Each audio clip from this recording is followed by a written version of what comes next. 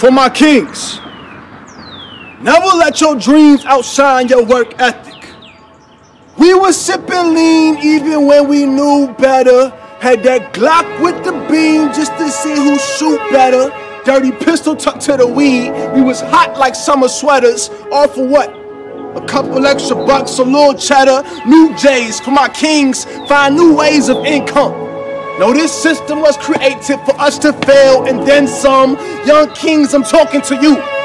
Since we were youth, we were given choices to choose that made us age faster for my kings.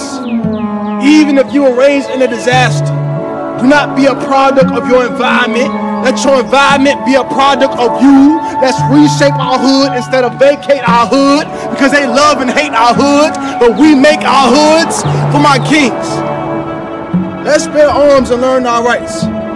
When they disrespect our rights, like coming to our house and shoot us while we ice cream on our couch, or shoot us while we playing Call of Duty with our nephews, or put their knee on our necks while we scream that we can't breathe. Let's bear arms and learn how to fight. We gotta sacrifice old beef so we can choose life for our people. Stop the robbing and killing. Lord knows that's not love, that's evil. Run it back, I said, stop the robbing and killing. Lord knows that's not love, that's evil. I won't sit and act like I've never been lethal. My name is B Love, but you can call me Brandon Lovee. I grew up in Southside, Richmond, Virginia, right off Bainbridge Street. Uh, Southside, man, it's, it's, it's the home of the forgotten. It's the home of the abandoned. Abandoned buildings, abandoned houses, abandoned souls. It's a little bit of everything from drug abuse, drug dealers, to the killers. But it's home still, so they call it the dirty South for a reason growing up, man, I, I keep it banned. I had a temp out this world, man. I was I was angry, angry at everything I saw, angry at at my relationship with with the people around me, relationship with different family members, angry at watching the crackheads beat the hookers next door, angry at the trash on the streets. I was just angry, man. I was I was very angry. But um, at the same time, I was blessed because I had I had a family. In the midst of the storm, in the midst of Southside, in the midst of the war, in the midst of the, the dirt, I had something that a lot of my peers didn't have, which was a loving family. But at the same time, even with the loving family, I seen so much trauma and so much pain between my parents. You know what I mean? From the fights to the my dad not coming home to the you can call it infidelity, whatever you want to call it. I just saw a lot, you know what I'm saying? See my first body in the in the alleyway. I didn't know if he was dead or if he was high, but his body won't move. then I heard them gunshots and I just ran back in the crib. So, you know I mean, grew up to the the gunshots put me to sleep. I grew up on a real busy street, so it was cars driving past night after night, feds posted on the corner. So yeah, that was just it was it was very loud growing up in the city, for lack of better words. It was loud, a lot of noise. Wasn't that much peace and wasn't that much quiet, but again, I felt peace in knowing that I did have a family, something that a lot of people didn't have. Even when the lights was off, even when the water was off, even when we didn't have the clothes, even when I was getting the hand-me-downs from family members, I felt peace knowing that I had something that most people didn't have, and that was a family. So that's why I found my peace at. I'm, I'm your neighborhood CMOS slanger, baby. You know what I'm saying? Like, I create poetry, man. I get booked for doing spoken word. I'm a hip hop artist.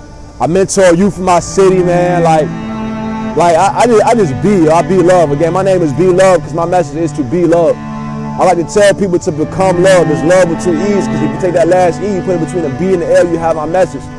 So every day I wake up and I find ways to tell people to be love. Tell, tell people to find your strength, find your passion, Find your purpose. Find ways to heal yourself mentally, spiritually, emotionally, physically, financially. Find new ways to hustle. You know what I'm saying? I, I, I trapped a little bit growing up as most most people did, most people in my, my neighborhoods did, but I found new ways to hustle, found new ways to make money. I sell my books, I sell CMOS, I sell CDs, I sell myself as an artist, and most importantly, I teach the youngest in my city how to do the same thing. I teach the youngest in my city there's it's, a million ways to make a million dollars. And you don't have to just follow the, the resources that's placed at our feet. You know what I mean? Because the resources and stuff that's usually getting us either locked up or thrown in jail. So yeah, man, right now, man, I, I host meditation sessions in, in, the middle of Southside, right in the middle of Broad Rock, teaching people how to breathe, teaching people how to focus on, on internal peace and internal healing. I slang vegan food, I slang vegan cheese with my people's rooted delights, teaching people how to heal themselves physically, how to choose to eat to live and not just to eat for pleasure. You know what I'm saying? Again, with the books, I really teach mental health. I teach creative writing how to use creative writing as a self-de-escalation technique to deal with everything that you're going on, to deal with your trauma. So yeah, man, I focus on mental health, spiritual health, physical health, and hustling. How to hustle, how to make bread, how to eat, how to how to sustain yourself and how to sustain your dreams. So yeah, that's what I do, man. Spread love, spread love the Richmond way, and, and show people there's a thousand ways to, to be yourself and really find yourself and find your passions and love yourself and love your passions. So that's me, man. That's what I do. I swear, man, this world, this system that we in, it, it, it, it, paints a picture of what we should be from the movies that we see, from the from the images that we see in our neighborhood. It says, oh, we gotta be like this, we gotta move a certain way, we gotta talk a certain way. But at the same time, you can you can create, you can become who you were designed to be living out your purpose. Again, for me, being myself is finding my passions, loving my strengths and my weaknesses, loving my pains, my trauma. You know what I'm saying? Again, really finding out what makes you you, what sets you apart from the rest. And choosing, really choosing to be that that you. Respect. Respect. but that's it, man. Again, you're showing love, man. Realizing that we are all reflections of each other at the same time. Realizing that we all got the same story, just written in a different way. So yeah, me for me again, finding myself and being myself is not being what this system chooses to label me as. You know what I'm saying? Really standing out from the most, standing out from from my environment, being a not not being a product of my environment, but let my environment be a product of me. So for real, man, like I said, creativity, creation, positivity, but also understanding it, understanding the balance and everything. Understanding that you can't always be love is not just oh light and daffodils and, and going to pick some lilies and meditating in the garden. Nah, you got to keep that thing on you too. You got to make sure that you protect it. You got to protect yourself. You got to protect your family. You got to you got to protect your legacy. So for me, man, being myself again, loving myself, is really tapping into my mental, my spiritual, my physical, and again, realizing that my neighbor and my neighborhood is just a reflection of me. And I can't really truly distance myself and disconnect myself from what made me me, from my experiences and my growth. So yeah, man, just just being me, man, not being what this system wants me to be. And what this system tells, tells me to be in. And using the tools that, that are inside me, that the creator, the most high has, has given me through my melanin, through my creation, through my beauty, through my skin tone, through my locks, my antennas, really being me. And again, just not conforming to the way of this world. Now's the time I visualize the world clearly like it's see-through. I'm just being transparent. There's too many women playing both roles. I'm talking transparent. See, it's a parent that it's a parent wearing jail clothes or church clothes somewhere down the hole. For my kings, I'll die for you, better believe it. If you have goals, go and achieve it for my kings. Shout out to the Royal Refuge. I said, it's okay to be vulnerable.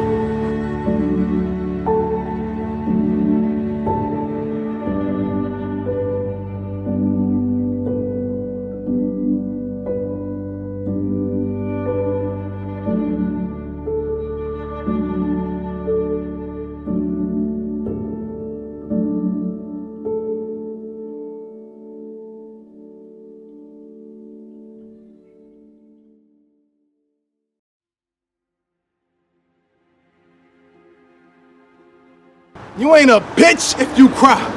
You ain't weak if you smile. The only time you lose your crown is if you follow in the crowd, and that crowd ain't going nowhere but down.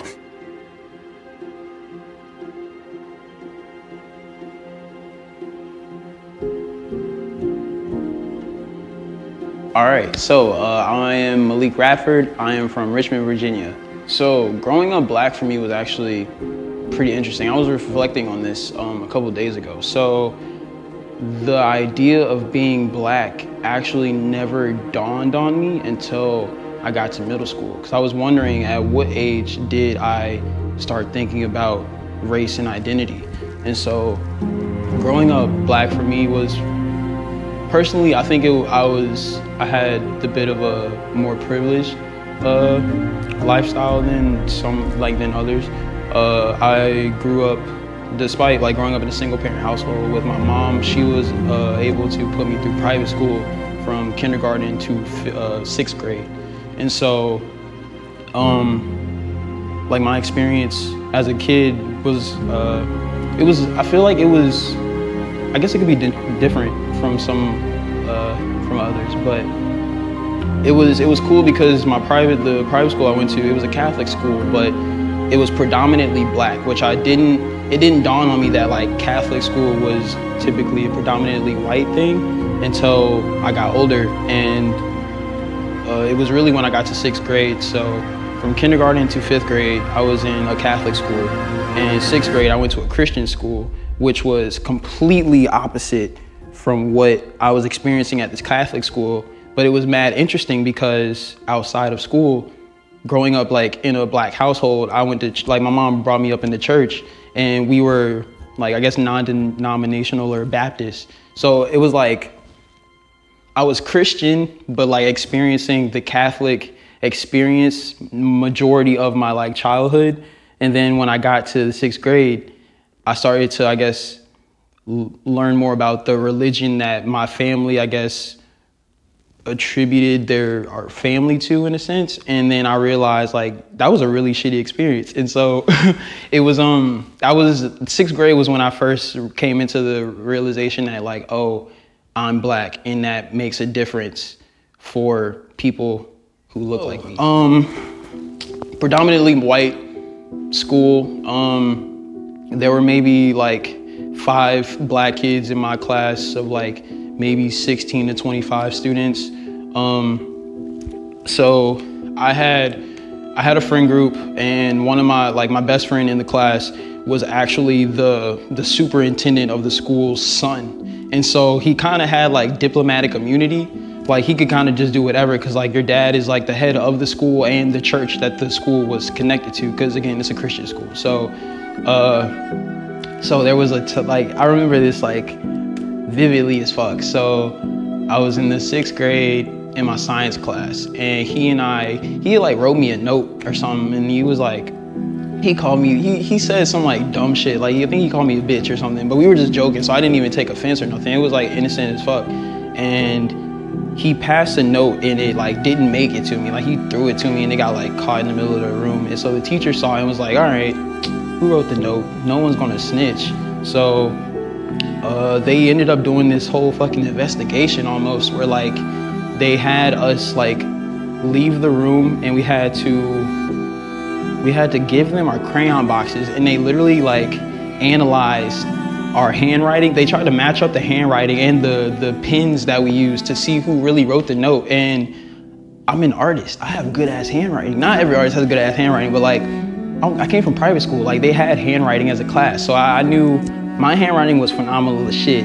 His was trash. The note had trash handwriting, but they didn't want to put blame on him because the head of the super, like, you know, the superintendent's son, no one's gonna, he doesn't get in trouble. What the fuck is that? So like it was a whole situation where they were willing to, they were going to like suspend me and almost have me repeat the sixth grade because this happened like towards the end of the year. So they were like, if you get suspended now, you're gonna have to repeat the sixth grade or some shit. So my mom, she was pissed and she she saw it as like a well, y'all aren't gonna put it on him because this white kid versus this black kid, y'all are gonna put it on him. I didn't see it like that. I just thought it was a weird situation. And so from there, she took me out of private school and was like, okay, let's put you in public school where you can be around people who are more, you know, just like you. And so you can kind of just develop, I guess, like better just like social skills to be able to. Um, my mom was really big on adapting and being able to uh, go between, she referred to it as going from the beach to the boardroom. So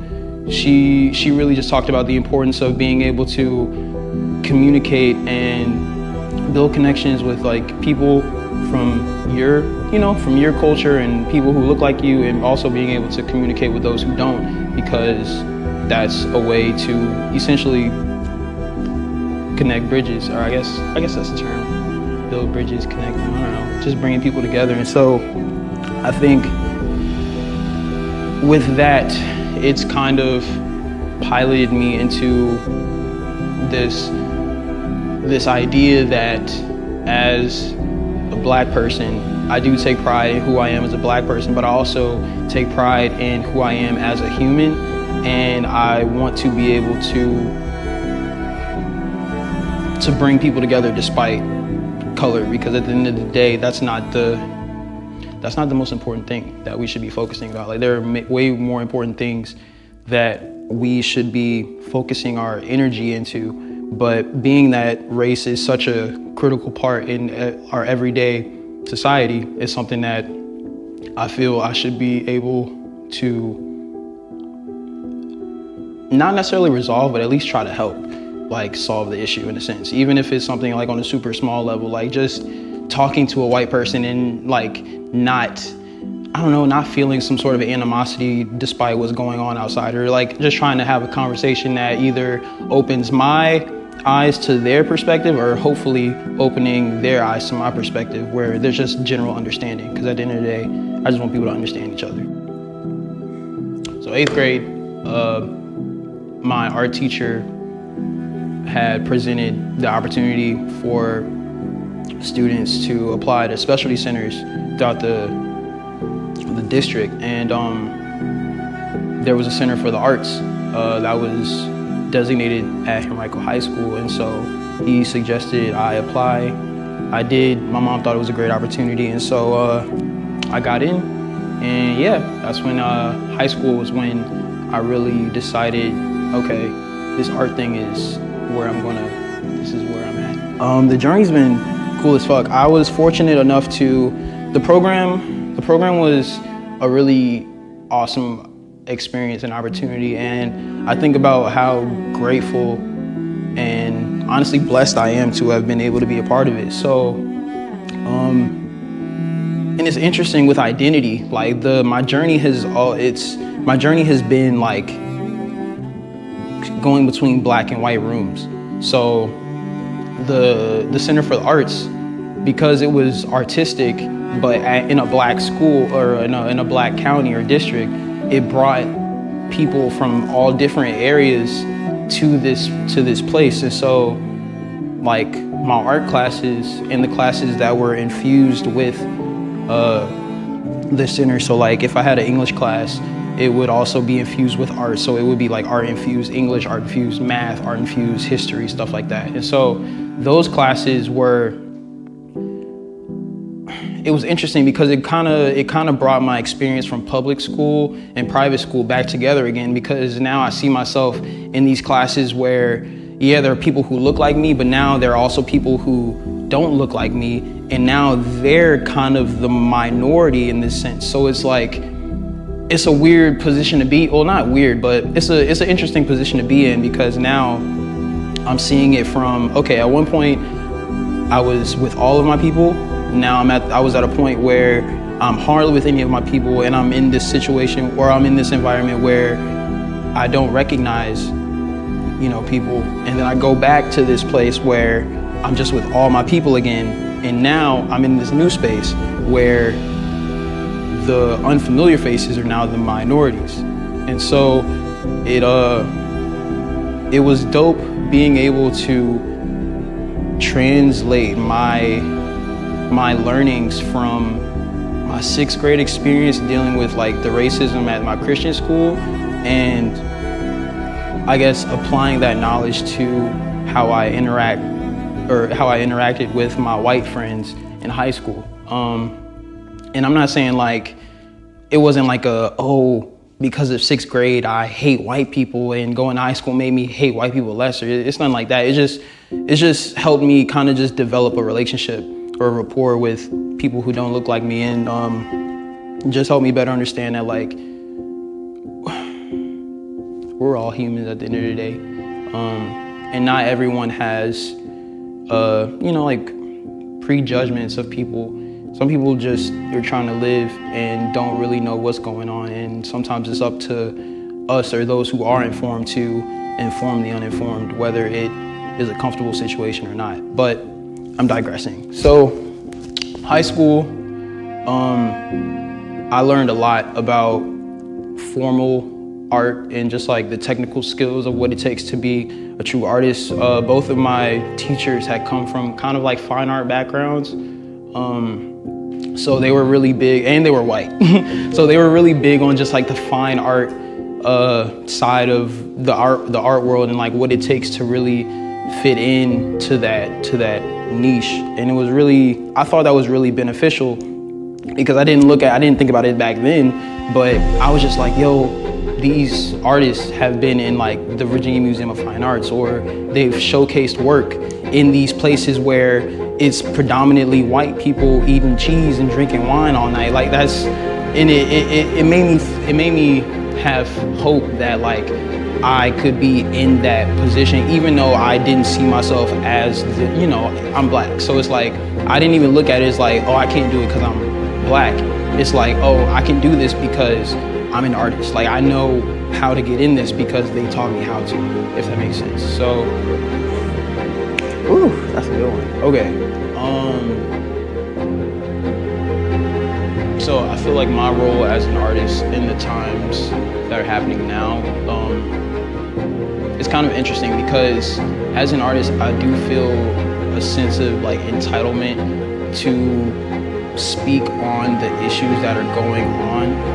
Um, but I also feel as an artist, I have flexibility and choice to decide when to vocalize through my work. Because uh, personally I like to as of now I like to focus more so on like humor in my work and these times have been very it's been really interesting. It's been a lot of like reading the room situation. So as of late I've been trying to trying to find a, a gap or a, a space where I can tell stories of what's going on now and it not be I just and it not be offensive or it not just be like kind of categorized into like all the other political art that is kind of being pushed out right now. Because one thing that I really push or I really try to focus on is what's something that's going to make me stand out. Because it's really easy to it's really easy to come to a common understanding and then just doing something, but it's like what there needs to be something else that makes I don't know, I just want people to like think a little bit more and to just see my stuff and just go like, what does he mean? And even if it makes them feel uncomfortable or if they get or if they if they like read my work and they assume something bad about me, like that's that's okay. Cause it's all about interpretation. Like I make work that I I try not to put a filter on my work at all. Um, like there, there was a recent piece. Uh, entitled it "The Underdog Story," and it was a picture of like a Sambo type black cartoon character uh, boxing a Klansman, and I was hesitant about putting that out because I didn't like. I've gotten pieces. I've done like much to me much more PG-13 rated pieces and people have like gone in uproars about it. But this piece was surprisingly taken, I guess, more like I guess better than like some other pieces I've done in the past. Um, but I, I was hesitant because, uh, again, these times are tough, and it's like I don't want to. Actually, no, fuck it. I want to. I want to come. I want to be. I want to show that I'm for my people. Because I was about to say, like, I don't want to come off as like biased, but I, I gotta be biased because it's it's my people at the end of the day, and I want to I want to talk about the bias point because I was.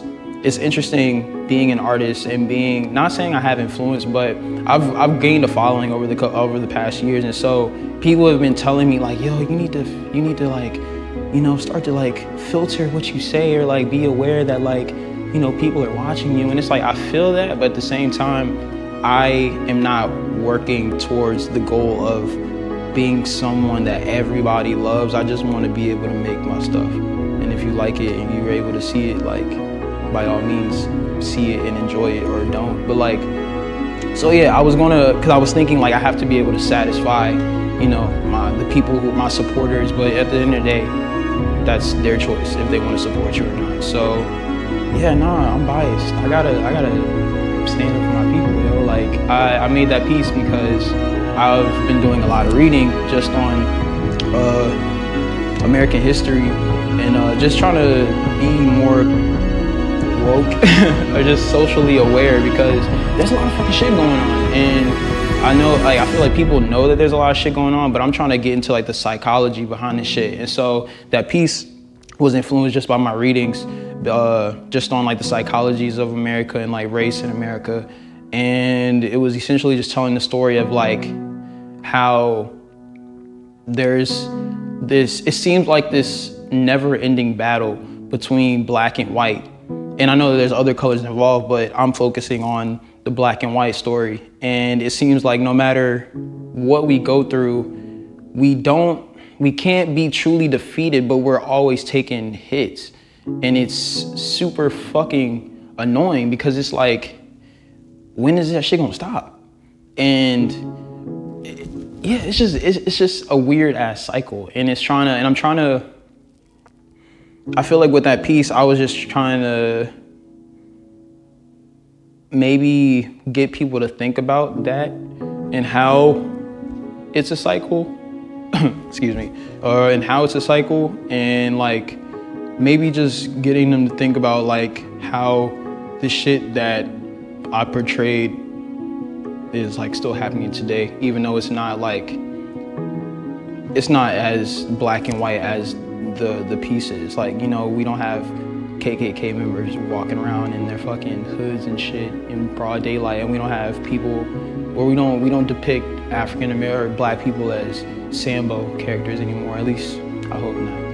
So for those who don't know, Sambo is a it's an it's an old ass American racist ass personification of a black person. Um, you might be familiar with like the story of OJ, or if you've just seen like any of like the the the the offensive Looney Tunes shit. I'm sure people have seen it online, but just like just depictions of black people in like Looney Tunes or uh, or anything that was kind of coming out in that era.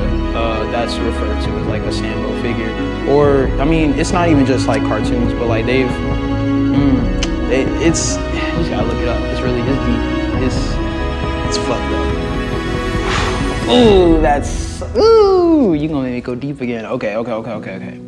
So. One minute.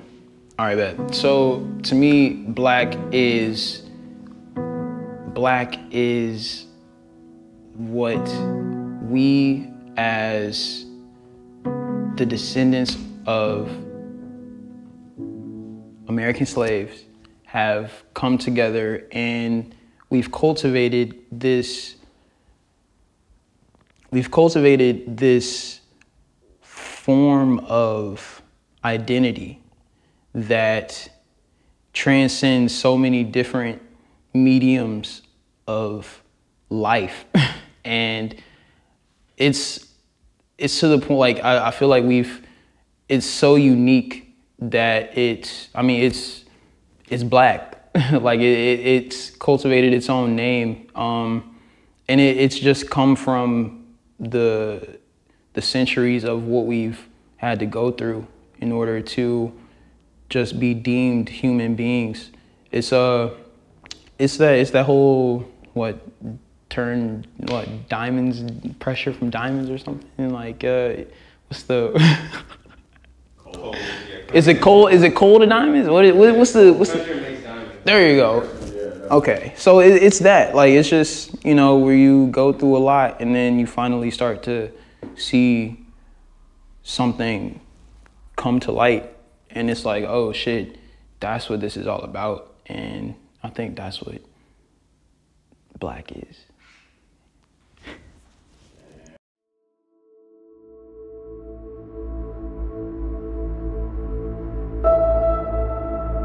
Yet note this, even when you hit rock bottom, there's only one way to go, and that's up. So let's smoke. In the clouds lies your throne. Let's blow away and find hope. I was chiefing on a backwood off a broad rock when I wrote this joke. Check it.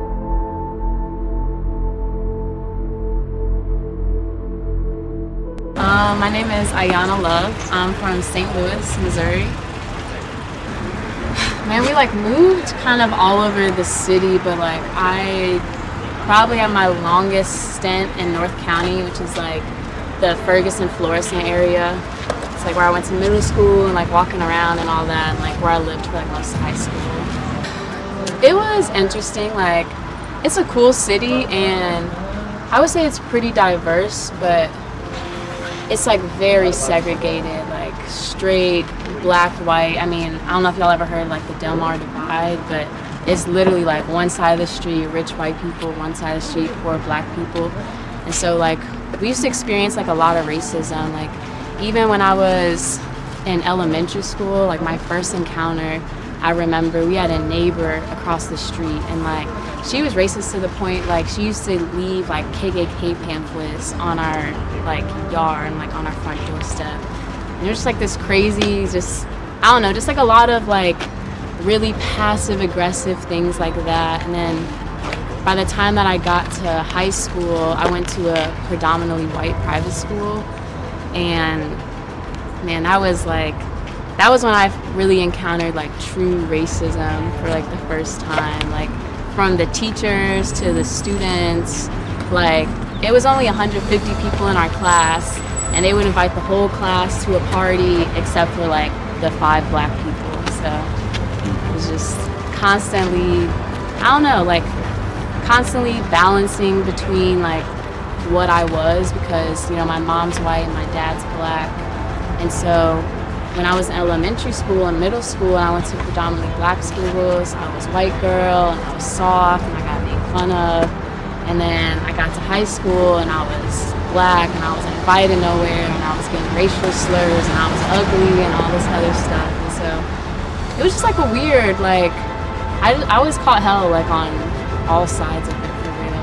And so it's weird because so when I was in high school, my best friend, her name was Alicia, and she was dark skinned. And we used to both experience racism, but she caught it like way worse than I did. So like I always had this complex where like I never felt like I could feel too bad because at least I wasn't getting it as bad as like some of my other black counterparts. Like at least when we would go to like football games and stuff, like you know, I would get approached by dudes more, not because she wasn't beautiful, like personally thought she was more beautiful than I was, but like simply just because of like all this colorism and but then at the same time like when I was like around my white friends like then I was just like the black girl and so I don't know I just always kind of like navigated this like weird like middle area where I just I don't know, I just never really associated with none of it, honestly. I actually came to Richmond because I originally, so I'm an artist, and I originally came to the art school um, because, you know, it's like a really good public art school, and so I moved all the way from St. Louis to go here, and just didn't have a good experience. Um, I felt like I felt like my voice was like really being stifled there, or they were trying to they wanted me to have a certain voice that just wasn't mine. Like, I don't have a problem talking about black issues or highlighting things about being a woman, but all of my professors being white men, I felt like they only they only wanted to see that work that was me pretty much exploiting my oppression on either side and and I honestly didn't even feel like I was learning that much. And so I ended up dropping out of art school, but then I just liked the East Coast and I liked Richmond, and so I just stayed. And I've been here since, except for a little six month stint in Atlanta, but it's different kinds of racism. Like the racism that you experience in Richmond, like if there's a racist, they're a blatant racist. Like they're gonna wave their flag and tote their guns. But St. Louis is all real passive racism. Like, they'll make sure that you know that you're unwanted, but they do it in all of these really slick, systematic ways and kind of like under the breath ways. Like, trying to think of some examples. Like this is like seems like a small thing, but it's just like a personal experience. Like when I was in high school, I'll never forget this. Like we had this one teacher who was like consistently racist to us. Like he made comments even in the class telling us like, yo, I'm afraid of my African American students. Like if there's too many of them around me, like a teacher in the middle of class. And I remember we had this group project where it was me and two other black students and a white girl. And it was like um it was this project where we had to kind of make a game and so we made this game and like you know i was an artist and so we took it to like the next level making it all creative and stuff. And he obviously liked the project enough that it became the project that he showed to like all the prospective families and uh, parents and stuff. But when the grades came back me and all the other black kids in the group got a c and we did all me and me and one other dude did all the work and we got all c's and then the white girl got an a and then when we went to the dean about it, they were like, well, there's nothing we can do. He has his reasonings, X, Y, and Z. And so it was always things like that where they just put us down in these passive enough ways that we could never like blatantly put our finger and say, oh, this is racism, especially to white people who just like weren't really seeing it. But I don't know, it was just really, it was discouraging for a really long time. So I feel like the only thing that's really different here is and this could just be because we're in Richmond, because like we're downtown near the campus, and like so it's just kind of a different vibe. Um, but I see more white people and black people actually interacting and being friends and like doing things together, where that just wasn't as much a reality in St. Louis. Like you, there really just was a divide where everybody just kind of stayed in their groups and if there was some type of racism doled out to like a black person, you didn't have as many white allies as I feel like you do here. Um, but like I said, that could just be like this kind of more liberal downtown Richmond area. But the way it, it's kind of translated in my art, it's funny because like when I was younger, I used to be way more political in my art. Like I used to be like die-hard activist. Like I was out there in Ferguson, like I was like drawing, like painting like pigs and cop uniforms, like the whole nine. And I, I just kept feeling like I was just like a voice, like screaming in a void. And I realized that there were just so, there were so many deeper problems than just race. I realized like a lot of the problems that white people were having with black people wasn't just about them not understanding us. It was like a heart problem. Like they were genu- genuinely hurt and broken themselves, and they were looking for somebody to put that off on. And so, like in my art now, like I'm a very devout Christian. Like I, so I talk about a lot of spiritual things in my artwork. My whole theory is that if you can fix the heart first and you can just heal people first, then like everything else is a symptom, whether it's poverty, whether it's racism, everything else just boils down to people just being hurt and broken and feeling like they have this emptiness, which I believe is what God is supposed to fill. So I just like honestly try to push the message of Christ as much in my work, and then I feel like that envelops everything else for myself. And I also think Christ was black, so I tried to pick that a lot in my work. But yeah, I feel like being black is like it's almost like you got a little more magic in your soul. Like, it's like if we're all cakes, I don't know why my brain went to this metaphor, but like, if we're all like different pastries and cakes, like we just got a little more sugar, like just a little more spice, and like it translates into everything, like the music, the artwork. And I think it comes from historically like our different struggles and the way that we've had to fight. Just makes you a, a deeper, stronger person. But even when we experience joy, like I feel like our joy is even greater than those of other races simply because like we've had to work harder to be joyful. We've had to work harder to have our art and our music heard and seen. And so I think everything we do just like has this like also this elevated spirituality of it. for my kings. Keep this. You can't let your drugs be your saviors. You can't let your queens be your saviors. We must save ourselves through self love, mind, spirit, and body. A trinity you will become for my king.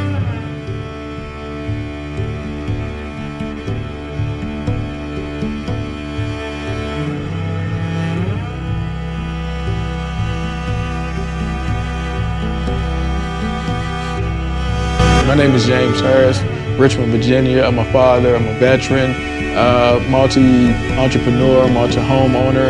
Um, I'm a therapist as well, founded a movement called Mental Heal, which focuses on men's overall wellness, that mental health as well as their physical health. And as early as uh, April, I became an author.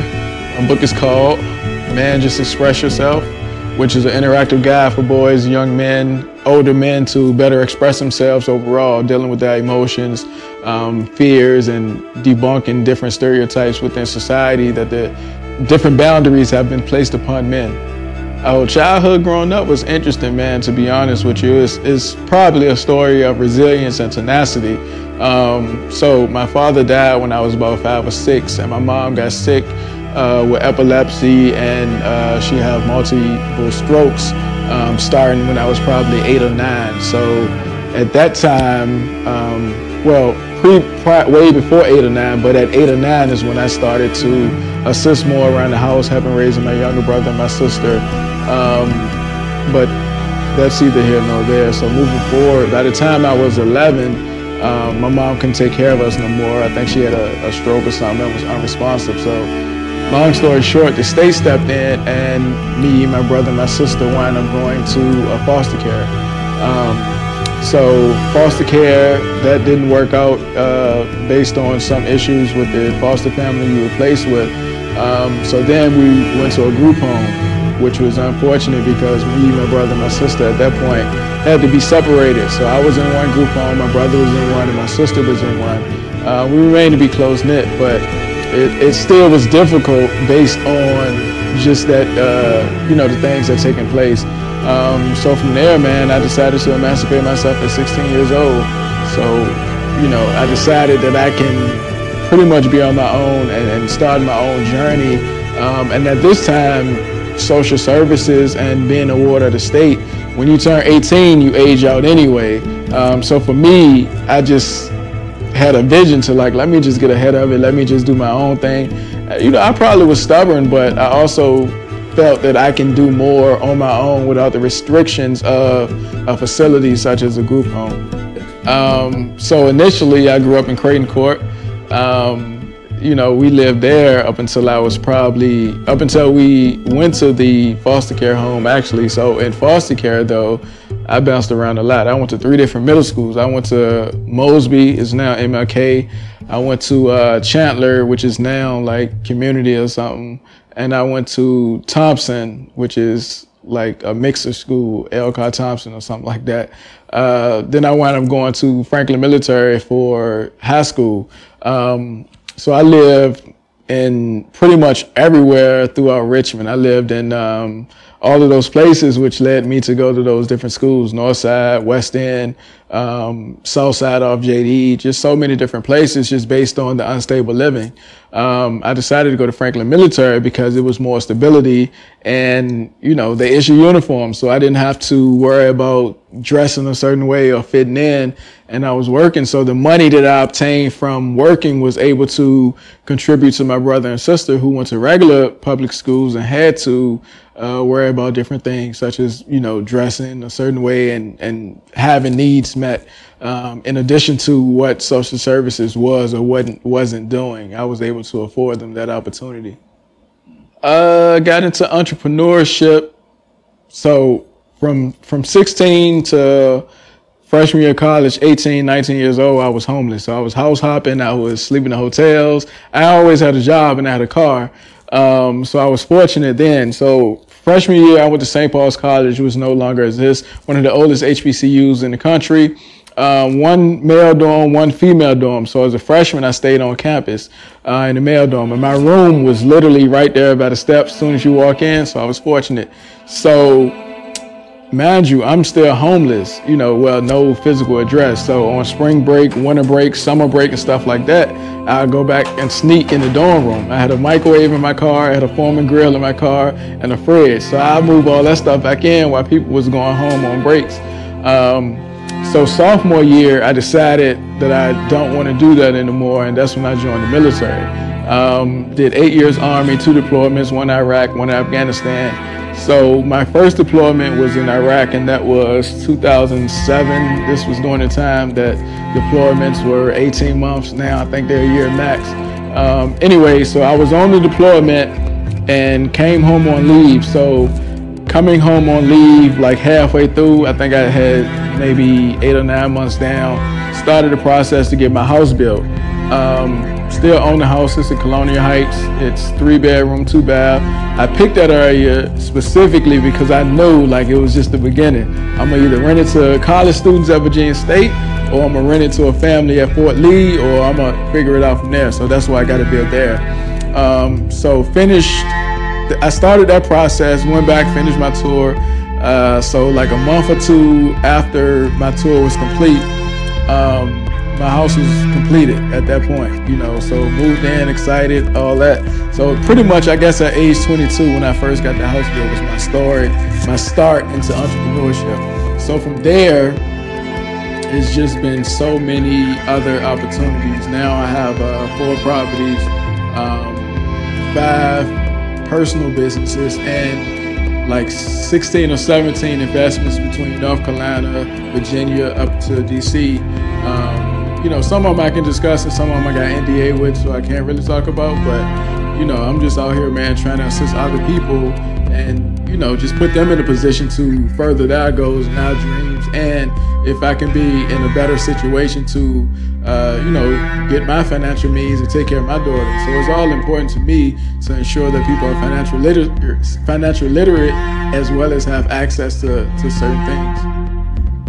Yeah, so access and availability is definitely important. Um, so one of my businesses is the Healing Hub. I do my outpatient out of there, but pre-COVID, it was so many different resources, uh, weekly yoga, weekly Zumba. And one of the things that I did do was bring in different experts from different fields um, to do different seminars. So we had a seminar on credit, we had a seminar on restoration of rights, financial literacy, first time home buying, uh, just bringing people different access to information, specifically in our demographic that we normally are not privy to. Um, or don't know where to go to get those things. So it's so many people right now that can afford a home, uh, but don't know the steps to get a home, or don't know how to clean up their credit, or don't know that they got uh, the credit score at a minimum to obtain their home. So for me, it definitely was important to put these things under one roof. Um, now in COVID, you know, things are shifted a little bit, so we got to do more of a virtual side. So um, I'm, I'm, planning and, and strategizing how I can still deliver that stuff to the community. I mean, I don't think it's intentional to be honest with you. We have to understand that uh, the information is provided. We have to decide decide on which information is credible. Um, you know, because all information is not good information. Um, and, and, to be honest with you, the way our parents were raised, or the way certain generations were raised, it was more of a um, individualistic concept opposed to a collective concept? Because just think about like if you're older than I'm 34 so if you're a generation or two above me it was still you just being integrated or uh, just tad bit far from segregation. You know what I'm saying? So for, for a lot of people it was oh man, we get to do certain things now. We get to obtain certain things now. So let me get as much as I can. And they weren't in a position of sharing as much resources just based on being allowed to own or have access to certain things. So you got to remember, just think about how it was historically from when we were segregated. It was more of a collective stance of individuals having a bank right there. You had a shoemaker right there. You had your own barbers, your own everything. But now segregation, like well, integration, um, afforded African Americans or other minorities the right to shop at places that they couldn't normally shop at or be in, and it, it it was a detriment to specifically our community because we stopped funding our individual neighbors and people with their endeavors that look like us. Um, because I don't think it was uh, subconsciously, oh, I'm not going to support this black person no more because I can get it from a white person. I think it was more so of a, oh man, we couldn't have this stuff from this white people for so long. Let me go and now show it off. Even if you think of from a standpoint of being ostentatious, like if you look at designers or like who cares about that stuff? But the fact of i just saved $700 i can get these pair of shoes it shows that i got a certain amount of wealth now. Like to me that's ridiculous. But to other people that's a status that you made it or you're trying to attain a certain level. But just remember if those if, if that was a, a, situation to where we can fund or channel that $700 for that pair of shoes to African American business or to reallocate those funds to sustaining our neighborhoods and our own entities opposed to trying to look the part or have a certain type of uh, prestige based on going outside of our realm. so some of the stereotypes I face is pretty much ones that I often ignore. Um, I don't know how much you can see on the camera, but I'm, you know, five, six tattoos. Um, I typically use a lot of slang, although I'm educated. I got a master's in clinical mental health counseling.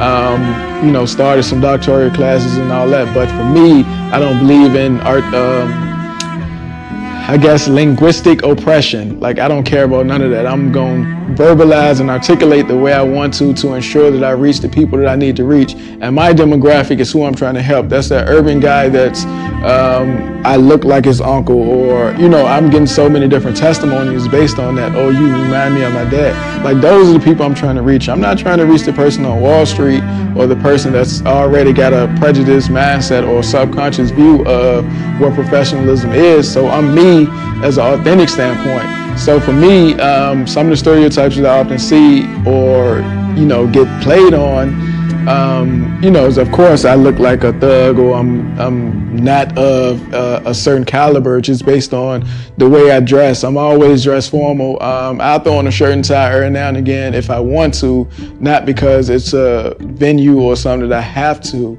Um, you know, but that's just me. I don't equate professionalism to a certain dress. I don't equate uh, my linguistic articulation or uh, use of ebonics to um, being more prestige or looking down upon on somebody. Um, I mean, I can use King King's English with the best of them, but I'd much rather be comfortable speaking the way I want to speak.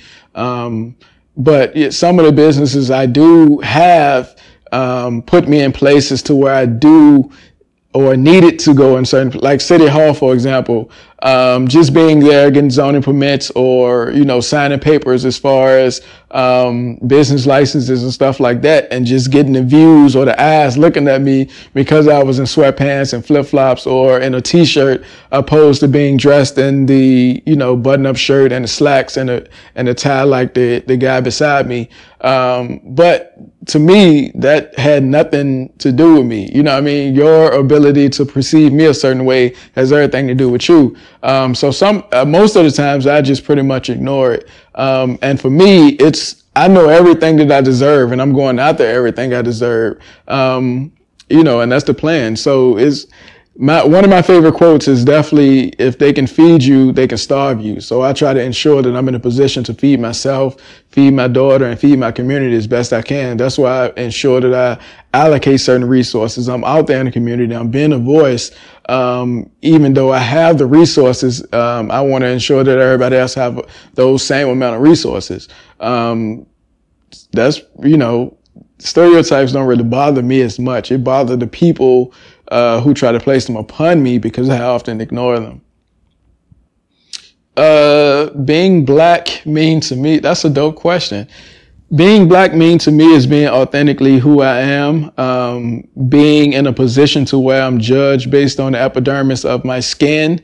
Um, it's dope as hell to be black, um, you know, trendsetter, uh, have to defy certain stereotypes. I'm an active father. You know, my daughter's with me majority of the time. You know, uh, I'm a business owner. I'm you know, not in the streets and stuff like that because there's so much negativity tied towards being black, whether that's the Hollywood perception or whether that's the media or whether that's social media or whether that's just, you know, peers and society basically saying being black is uh, a negative thing. But to me, to be honest with you, being black is like revolutionary. It's, it's eclectic. It's artistic. It's the ability to create yourself and express yourself in certain way that people want to, you know, then follow you and just think about how many trends and how many modes we have broken with less than the uh, other demographics, other ethnicities, and stuff like that. So you got to remember. Just imagine if a perfect example. Um, I was uh, homeless, never, you know, didn't have access to certain information. And I got four properties. Just imagine if I got a million dollar loan like this you know, other people with their families and stuff like that. Just imagine with my tenacity, with my ambition, how much farther I'll be um, if I was afforded those same opportunities. Just imagine how much further our demographic would be if our ancestors and the previous generations didn't have to deal with redlining because they couldn't buy a house in certain areas or you know, they couldn't invest in certain things or they got charged a higher rate or different stuff like that. Just imagine how much more we accumulate if they didn't, um, you know, burn down Black Wall Street and in uh, Tulsa, Oklahoma and stuff like that. If the Harlem Renaissance wasn't as impactful as it is, like just imagine if it wasn't uh, so much put into suppressing our votes and stuff like that. Like just imagine how, how much further we'll be um, if we were afforded those same opportunities and we're not afforded those same opportunities still based on systematic oppression, systematic racism and stuff like that, and we still making strides. So to me, that's way more impressive. So we're neck and neck with less.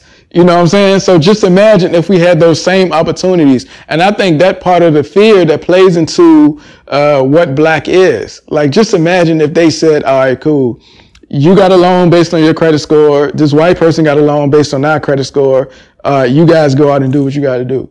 You know what I'm saying? Just imagine how much more our community would look opposed to uh, the gentrification. Um, so gentrification is cool, but the displacement is not. But just imagine how much more we can gentrify our own neighborhoods and stuff like that if we were afforded those same opportunities, those same leverage um, leverages. So to me, being black is awesome. You know, we didn't have the head start. We didn't start in the same place, but we still excelling.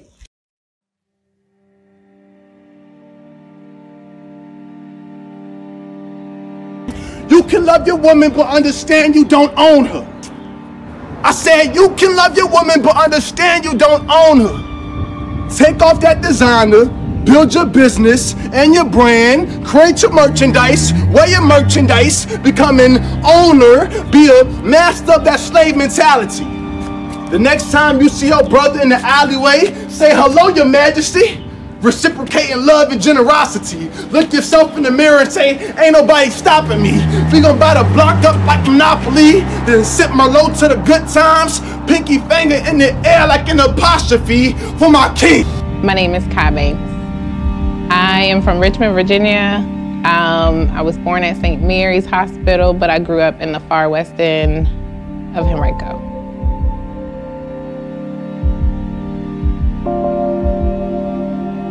I'm a grants manager for VCU. Uh, so I manage all the grant money, foundation, state funded money that we receive for our programs. I also work as outreach specialist in the community with the Richmond Food Justice Alliance. Well, so yeah, my um, my dad's from the country. Uh, my mom's from the city, and of course I grew up in the suburbs. Um, so it was an interesting dynamic, interesting household because uh, my father is very um, rural, in, even in his like behavior in his life. Uh, but my mother is very like quick-paced city city life, and we grew up in an environment, or I grew up with two younger brothers um, in an environment that they weren't really familiar with. So I, we had to kind of navigate that environment on our own. Um, I went to school at Shady Grove Elementary and Short Pump Middle School. Uh, usually the only black person in my class, just about every year until I got to high school. in the beginning, you know, um, it's funny because thinking back, I don't think I remember what it was like per se, but I remember um, wanting to be something that I wasn't. So at one point I wanted blonde hair and blue eyes. Um, but I don't know that it really impacted me until I got older, more so when I, when I hit probably that puberty stage. My hair was natural. I wear afro puffs to school and all the white girls were like, what? I like that hairstyle, you know, what's what, I like your hair, can I touch your hair? And so I always felt like um, I was different and unique, but I was, I didn't fit in.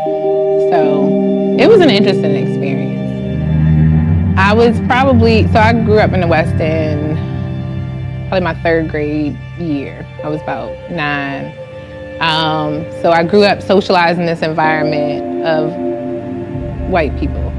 Um, and it was the middle class area. It was the area at that time that a lot of folks were moving out to. I don't know if y'all are familiar with like Wyndham and um, just a really nice area. A lot of my friends had really big houses. My parents were working class, middle class, so we had what we needed. Um, we never had a brand new car or anything like that. So it, it felt like you know I'm here, but I'm I, I'm not here. Um, and then all of my family was in the East End of Richmond. And so whenever we would go to the other side of town, you know, there was a different set of rules for my mom of like, you know, making sure that we were home or in the car by dark.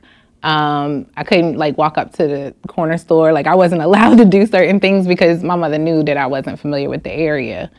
Um, and so as I got older, I always wondered, you know, my cousins were a little different from me. Like they took dance class and I was in like leadership programs and I was on the swim team. And so there was a disconnect. I mean, we were a family and they loved me, but there was always a disconnect that I felt that they lived a different lifestyle than I did.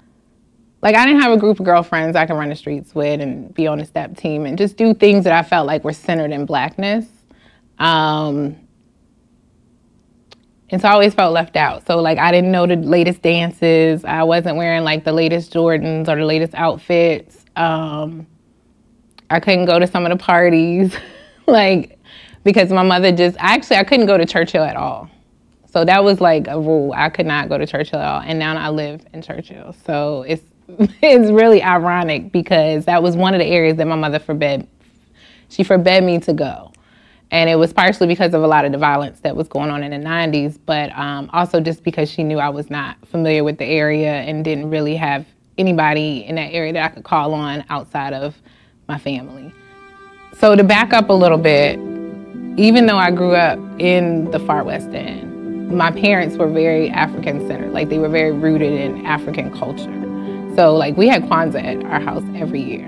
Um, and so a lot of like my white friends didn't know what that was. But like Bon Caribe and Ron Bagad and you know anyone Easy Boo like anyone that's anyone in African culture or African centered culture of Richmond was at my house for Kwanzaa every year. Um, my mother had books everywhere. I, I watched Roots as a kid. I watched Queen as a kid, so I knew what my history was and actually was brought up to be proud of who I was as an African um, American. But you know, I still was around white culture. So I took Latin. so, and I took Latin for three years. And I was the only black girl in class. Um, but I stayed with, you know, my class for the, that full three years. So I have pictures where it's, you know, white, white, white, and then there's me. Um, and so, like I said, I grew up learning about my history and knowing I am African American and I am a black person. Um, and I also experienced, as I got older, racism from my white counterparts. You, like in the beginning of my school year, it wasn't a lot of that. I mean, you knew you were different, but I didn't experience per se racism that I can remember. Um, it wasn't until I got to high school where I wasn't getting invited to like certain people's houses or I wasn't able to be as close with my white counterparts outside of school as I would like that I noticed there was, there was a reason for it.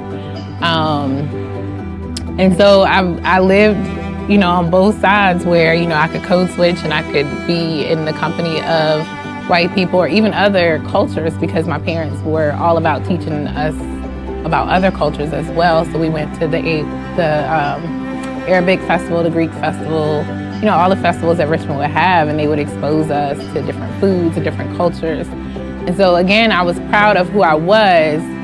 Um, but when I would come sometimes to the black community, I would um, get my feelings hurt because, you know, somebody went, why you talk like that? You talk white. And I was like, well, I don't really know how else I'm supposed to talk. You know, this is how I grew up talking.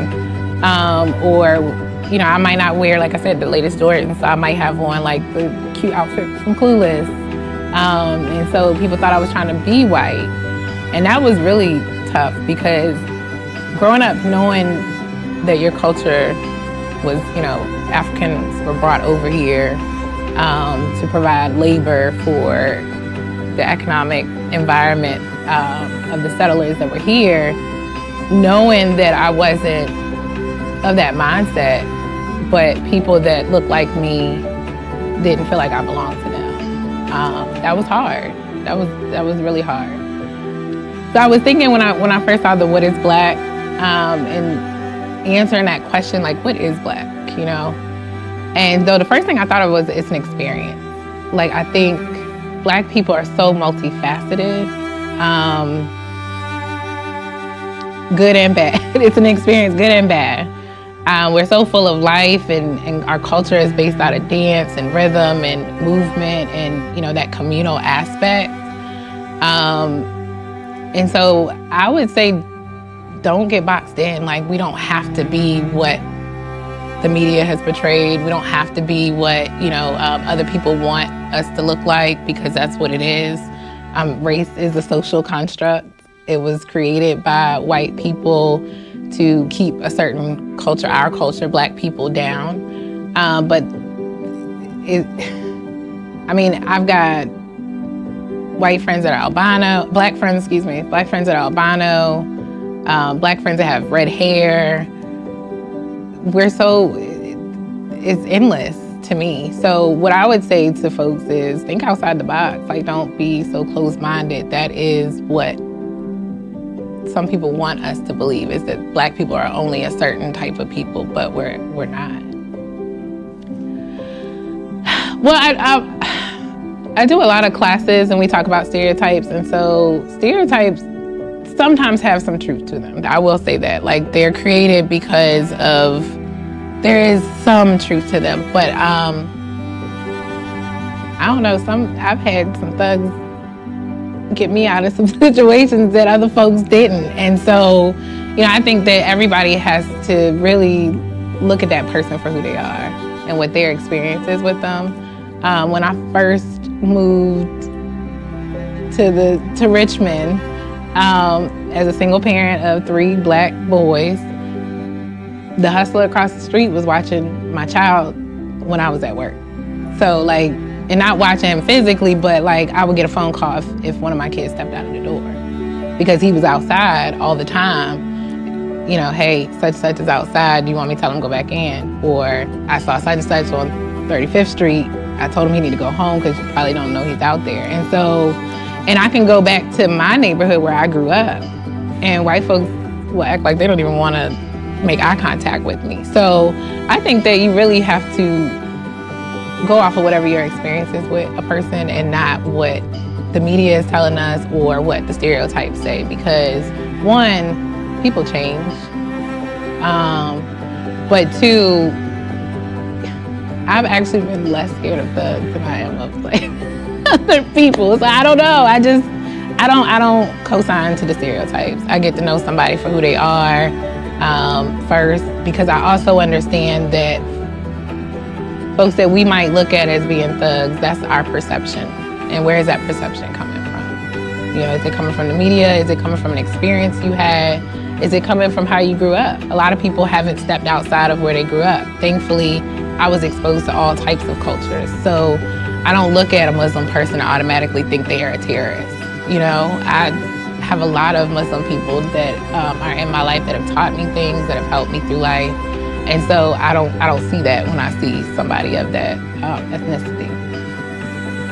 I'll go ahead and say an experience because I think it is. Um, it's a great experience um, to know that black people have been through so much and still are here and still are able to be creative and have created um, things that we use every day that are intelligent. Like I see my people as, you know, more than um, more than what we show. I don't want to get too like I'm proud of who I am.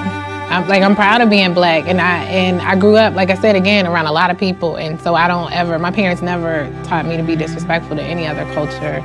Um, you you know, if you have an interaction with a person, that's one thing, but to blanket be disrespectful um, or hateful to a culture because of what they look like, I've I was never brought up like that. Um, and so I'm very proud of being black.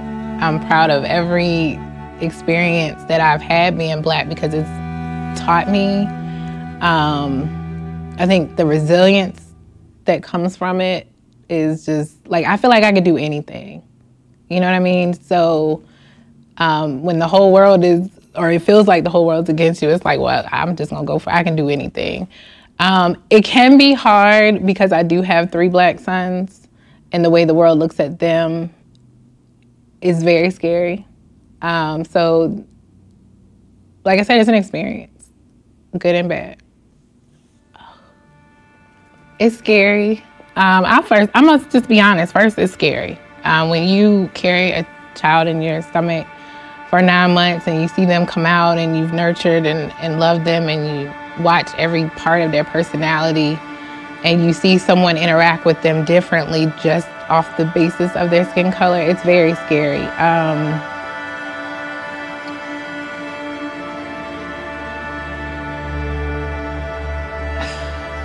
It is really scary. That's I, like that. I don't even know.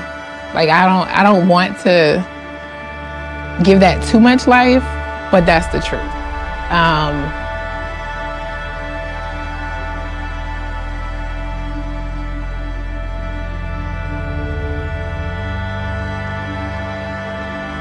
honestly, in the beginning, I wanted them to be oblivious. You know, like I said, I was rooted in a lot of of history and teaching, and so I didn't want to do that since I kind of did the opposite um, and wanted them to just be themselves. Um, and it wasn't until my son went to school and he started learning about Black history, and he came home one day and he said, I can't be a boss because white people don't want me to be a boss. And that was when I realized, hold on, I need to educate you you know, like I've allowed you to be a child and educated you in that form, but now I gotta, I gotta teach you who you are, how special you are, how amazing you are, um, to continue to build your confidence, especially as a barrier for all of what you might have experienced. Um, and so we have talked about, you know, getting stopped by the police and how you carry yourself with the police, or even just, um, I teach them a lot about emotional intelligence to be perfectly honest. I try not to make it too much about race, although my youngest son spends a lot of time with me. And so he's like, that's white people. And so, I, you know, I still correct that because I don't want him to, to generalize people for their skin color. Um, and so even especially when the police shootings were going on, I, you know, I could just, I, it was like I could see the life leave them in a sense when they're watching this and talking about this amongst um, their friends and so I'm constantly building their confidence and teaching them who they are, where they've come from, um, and that you know you're so amazing that somebody wants to stop you. So, yeah. um, trying to think, has there been any? We've been really fortunate. Um, my older two live in Baltimore, Maryland, so they're around a lot of Black people. Um, they're in the, the city of Maryland, and so I don't know that they've ever really felt uncomfortable in their skin. But my youngest is here, um, and there's obvious segregation. You can see it in Richmond. Um, and so there's been a couple times he's asked questions like, we go to my mom's house. Well, why is it when we go to, you know, her house, I can go outside and ride my bike and, um, you know, I don't have to worry about this and that. And, you know, so he's seeing the differences. And, and so I'm starting that process of teaching him. But with that teaching, I'm also teaching him how special he is and all of the things that Black people have contributed. Um, just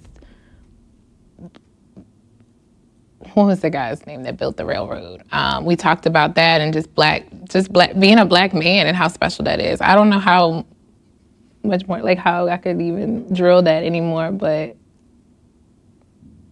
yeah. I'm gonna it like this. Never let the teacher tell you you have ADHD. The teacher told me to lower my voice. She said, speak easy. Now I be out here setting legacies with dope bands like on 2nd Street. I'm talking real historic, speak easy, check it. For my kings, I'm from VA Singing songs, feeling breezy. The little missus love my D and my glow until I say farewell. Check it, I said, I'm from VA, singing songs, feeling breezy. The Lord, I said, singing song, Trey Songz, feeling breezy, Chris breezy. The Lord, Missy, Elliott, love my D and my glow, D'Angelo, until I say farewell. For real, love.